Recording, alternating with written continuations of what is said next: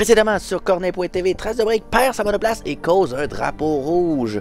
Toutefois, cela ne l'empêche pas d'être le vainqueur du Grand Prix du Brésil avec Pierre Gasly et Lando Norris sur le podium. Charles Leclerc termine d'ailleurs hors des points, situation indésirable pour le Monégasque alors qu'il ne reste plus que deux courses au calendrier et qu'il vient de perdre la tête du classement pilote au profit du pilote propriétaire québécois. Pour cette neuvième manche de la saison 2026, nous sommes au Portugal sous un temps torrentiel. Nous avons appris que Trace de Break avait remplacé d'ailleurs plusieurs composants de sa monoplace. Les dernières pouvant être légales en vue de cette fin de saison qui s'annonce assez captivante. Ferrari et Corner Racing Team luttent avec acharnement au classement constructeur, tout comme leurs deux pilotes vedettes au classement pilote, qui aura le dessus suite aux courses du Portugal et à celui du Nevada également? Ceci étant dit, qu'en est-il de la séance de qualification? À un tour unique? Oscar Piastri démontre à quel point McLaren a amélioré sa monoplace en décrochant la pole position avec des pneumatiques full wet. Il devance par seulement 42 millièmes son coéquipier britannique Lando Norris. McLaren, qui se place quatrième au constructeur, possède donc la première ligne, alors que Trace de Break termine quatrième devant son rival Charles Leclerc par un peu plus de 7 centièmes de seconde. Quant à Tatiana Calderon, elle a raté complètement son tour et sera 19e au départ de ce Grand Prix. Aston Martin, qui lutte avec Mercedes pour la cinquième position constructeur, est déçu avec une 12e et 14e place. Haas, contrairement, se réjouit de la sixième place de Lawson et de la dixième place de Drogovic.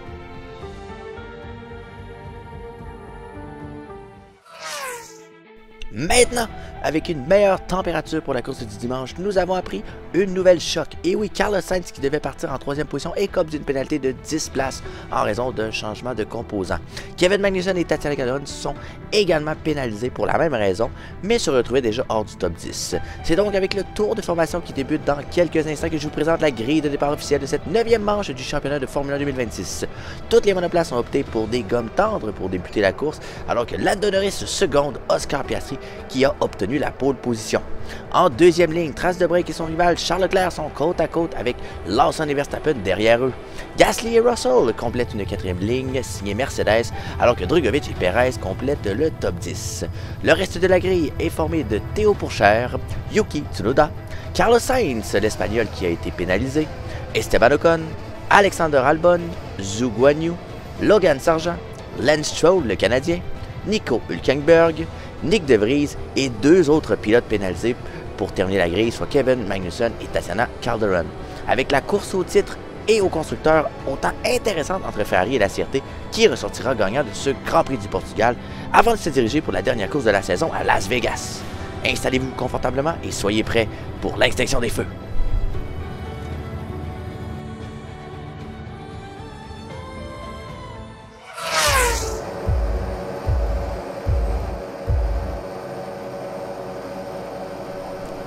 Les feux s'éteignent et ça roule pour cette neuvième course ici au Portugal. Excellent départ d'Oscar Piastri qui aspire à remporter son premier Grand Prix en carrière alors que Ladonoris doit lutter avec Charles Leclerc et Trace de Break par l'extérieur. Et wow, Lawson qui vient chercher la quatrième position. Excellent départ du pilote As alors que Trace de Break et Charles Leclerc, les deux rivaux au classement pilote, sont coude à coude lors de ce premier secteur, lors de ce début de Grand Prix du Portugal. Oh mon Dieu, on va avoir une belle course, je peux le sentir avec Leclerc et de Break qui ne voudront rien l'un contre l'autre.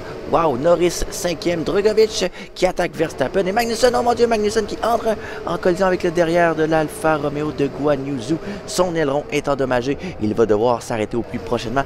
Alors que finalement, on voit Trace de break en troisième position. Leclerc est déjà à 1,7 secondes derrière Piastri. Reste que le Monégasque est devant le Québécois pour terminer ce premier tour. On revient justement avec les reprises vidéo du départ. Trace de break qui a eu un un départ correct, respectable. Il était quatrième et il se retrouve en troisième suite justement à l'erreur de, défendre à l'intérieur de Lando Norris qui lui perd deux positions dès le premier virage alors que Charles Leclerc réussit à le dépasser. Et même on voit Lawson à l'arrière qui, wow, profite justement de, de l'espace créé par trace de break pour réaliser le dépassement. On va voir ici la vue de Charles Leclerc, donc la caméra embarquée du Monégasque qui a eu tout un départ en gomme tendre. Waouh, il se place entre les deux monoplaces. Oh, il y a eu un petit léger coup de volant vers trace de break, mais il ne semblait pas y avoir eu de contact au départ. Et oui, un léger contact pneumatique contre pneumatique, mais rien de grave, aucun aileron endommagé.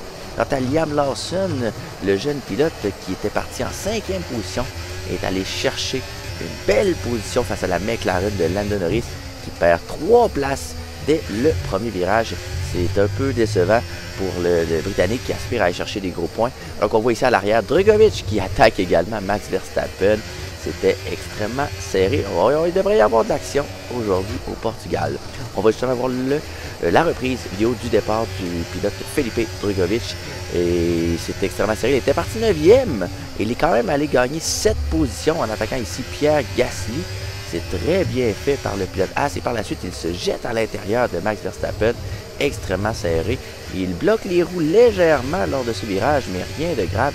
Et par la suite, il va pouvoir attaquer Verstappen pour la sixième position. Donc, c'est un, ce sont de beaux gains. Ça pourrait être de gros points pour l'écurie As qui aspire à monter au classement constructeur le mieux possible pour aller chercher le plus d'argent pour la saison prochaine. Quant à George Russell, le pilote britannique de chez Mercedes était huitième lorsque les feux rouges se sont éteints. Malheureusement, il a un mauvais départ, mauvaise accélération et il se retrouve en 12e place. C'est assez difficile. Carlos Sainz, on le voit le dépasser, l'Espagnol qui entre dans le top 10, alors que George Russell, malheureusement, est bloqué en ce moment. Il a eu un mauvais départ, il va devoir se reprendre. On va voir également la reprise du départ de l'Espagnol Carlos Sainz qui était 13e suite à une pénalité de 10 positions pour avoir changé des composants de sa voiture lors du parc fermé. Et bien le numéro 55 qui attaque de la même façon que Lawson et que Trace de Break a attaqué et il va chercher des belles positions. Il lutte avec Pourchère lors du virage suivant. C'est extrêmement serré, mais la derrière Ferrari est plus rapide que l'Aston Martin et le dépassement est complété. On continue lors de cette séquence justement avec Kevin Magnussen qui entre en contact. Oh wow!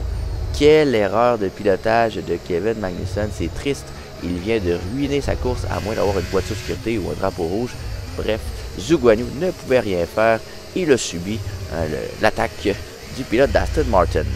Et on poursuit le premier tour avec Trace qui est à la poursuite de Charles Leclerc. D'ailleurs, vous pouvez voir que la ligne droite elle est longue ici au Portugal. Donc le DRS éventuellement va être une arme majeure. Donc on va tracer Break qui lutte vis-à-vis Charles Leclerc. C'est extrêmement serré, c'est bien fait par le Québécois qui prend l'extérieur et qui réalise le dépassement. il vient chercher la deuxième position de ce Grand Prix du Portugal. Alors qu'évidemment Kevin Magnussen s'arrête au puits pour changer son aileron avant endommagé. Il devrait opter pour des gommes dures. Leclerc en troisième place, cependant, ne va pas se laisser vaincre aussi facilement. Il reste tout près d'un De Break qui n'a pas le DRS. Hein. Il est à 1,5 secondes d'Oscar Piastri qui se dirige probablement vers une victoire facile en advenant euh, une voiture de sécurité qui pourrait justement euh, remettre les pendules à l'heure pour le, duel pour la première place. Alors que, oh, drapeau jaune, drapeau jaune, et c'est Logan Sergent qui voit sa voiture abandonnée. Le moteur vient de lui sauter. Triste début de course alors que nous étions au début du cinquième tour. La Williams ne marquera pas de points comme à l'habitude, mais en plus ne terminera pas la course. On continue au sixième tour. Oscar Piastri, justement, s'est fait rattraper par Trace de Break, qui est très rapide et soudainement... Oh, Trace de Break qui prend, prend le champ, il va hors piste, il se retrouve dans le sable. Oh, qu'est-ce qui s'est passé? Est-ce qu'il y a eu un contact? Je croyais qu'avec 1,6 secondes d'avance, Oscar Piastri serait en sécurité face à l'offensive de la CRT. Mais non, la CRT est très rapide aujourd'hui ici au Portugal. Et ensuite, est-ce qu'il y a eu un contact entre la McLaren et le numéro 69, pilote propriétaire Trace de Break? Bonne question. Par chance, De est retourné sur la piste en troisième position derrière Charles Leclerc. On va revoir justement la reprise de ce magnifique dépassement grâce au DRS. Et c'est très... Oh non! Il a donné un coup de volant vers la gauche et par la suite euh, pu revenir sur piste, mais on aurait dit que Debrec a eu peur d'un contact. C'est rare qu'il ne risque pas justement l'agressivité et aller chercher la position. Surtout quand c'est la première position qui est en jeu. Et contrairement à Debrec, eh Piastri a lancé sa voiture hein, all-in pour la victoire. Ça paraît que le jeune pilote veut sa première victoire en Formule 1 après quatre saisons. Mais la course est encore jeune et nous sommes au septième tour et déjà Trace de Break retourne à l'offensive. Il attaque Charles Leclerc par l'intérieur et c'est très sérieux. Oh, il y a contact ou perte de contrôle. Bonne question. Je n'ai pas pu constater euh, la vérité sur cette séquence. Drapeau jaune, drapeau jaune. Et encore une fois, Trace de Break qui retourne sur la piste. Oh, c'est extrêmement serré. Il est en 12e position alors que le drapeau vert est de nouveau agité. On peut continuer la course. Oh, j'aurais peut-être même une voiture de sécurité, mais non, seulement un drapeau jaune.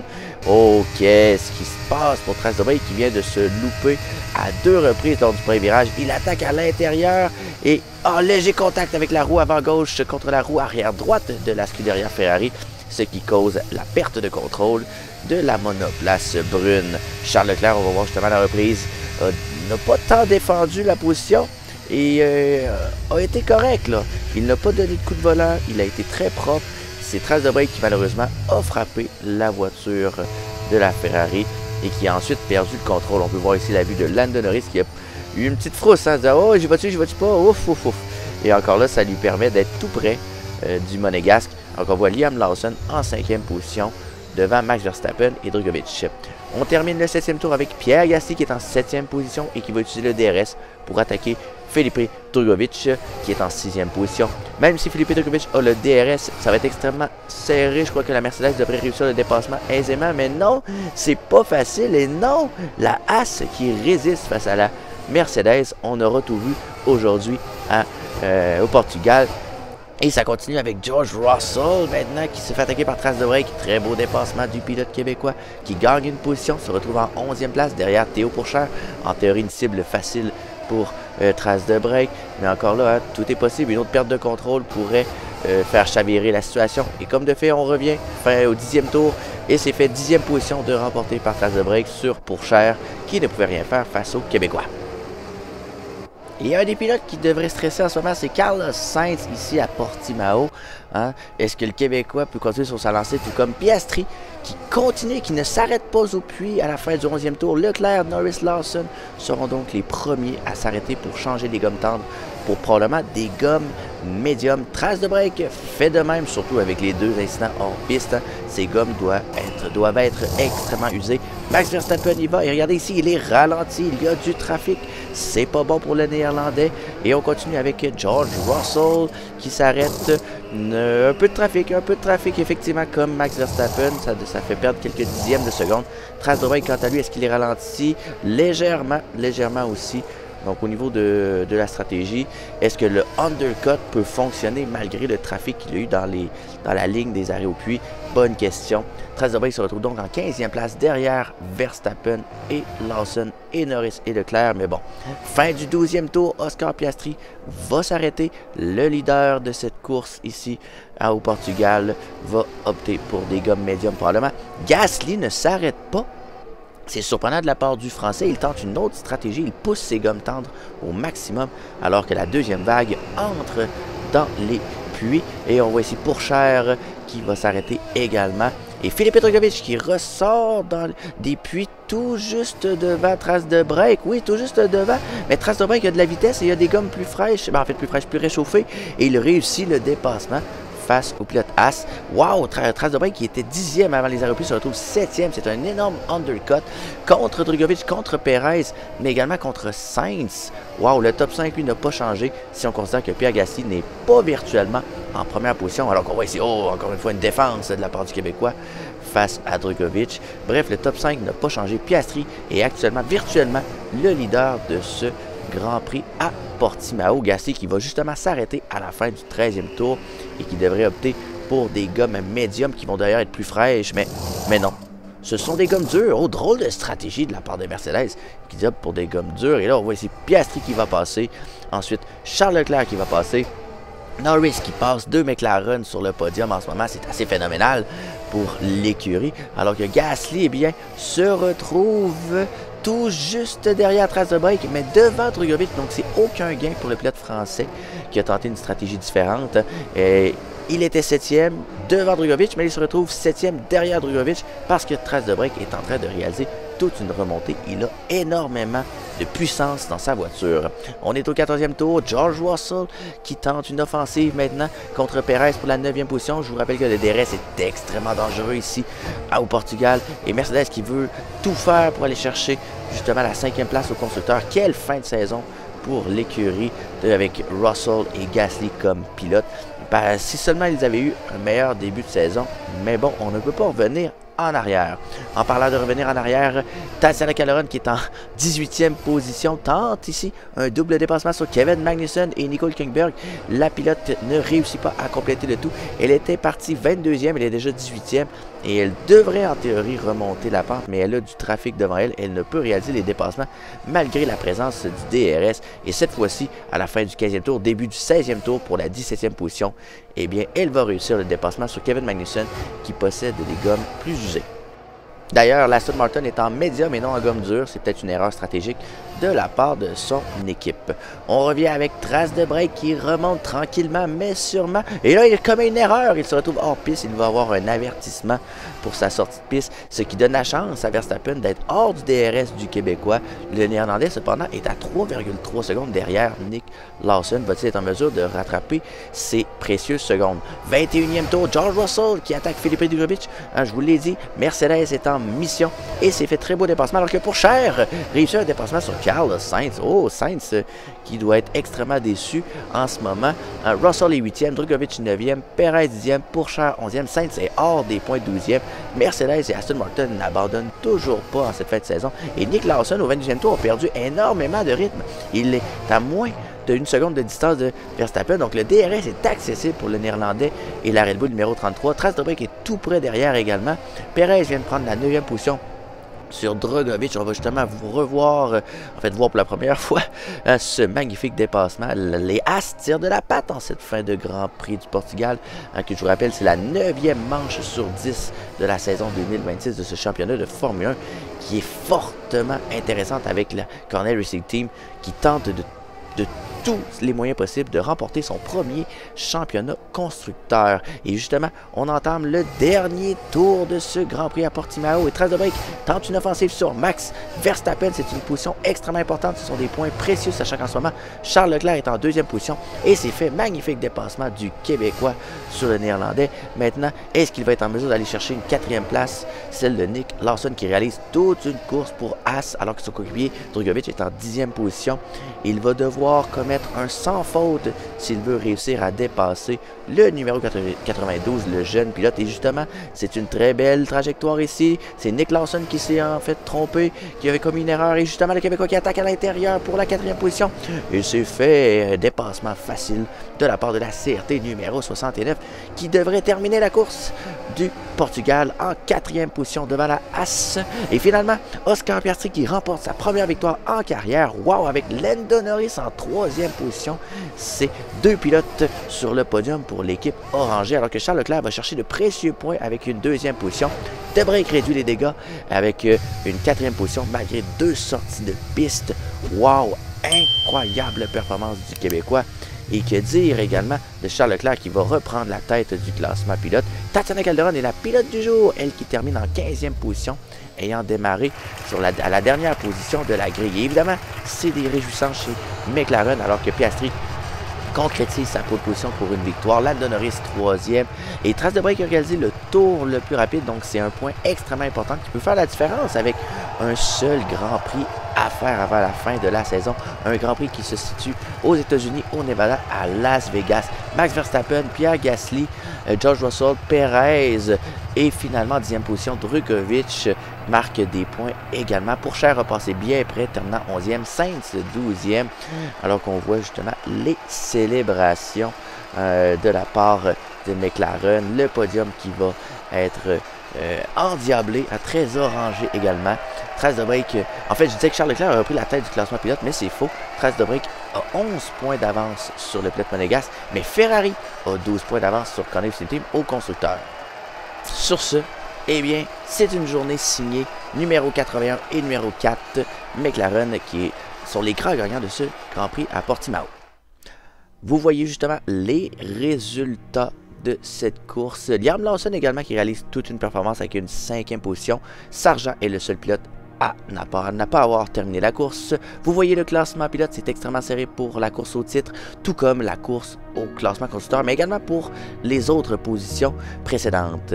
Oscar Piastri qui concrétise sa pole position et sa première victoire en Formule 1, c'est tout à fait incroyable. Lando Norris peut également être fier avec une troisième position pour McLaren. La rivalité Leclerc-de Break est encore plus intense suite à ce contact, effectivement. 11 points d'écart séparent les deux pilotes qui aspirent à être champions du monde. Et Corner Team et Ferrari vont se battre jusqu'à la fin, ayant 12 points d'écart. C'est extrêmement serré. Mercedes est surprenant, mais rien n'est joué pour la cinquième position, sachant qu'il n'y a que 12 points d'écart avec Aston Martin. Tout va se jouer au dernier Grand Prix.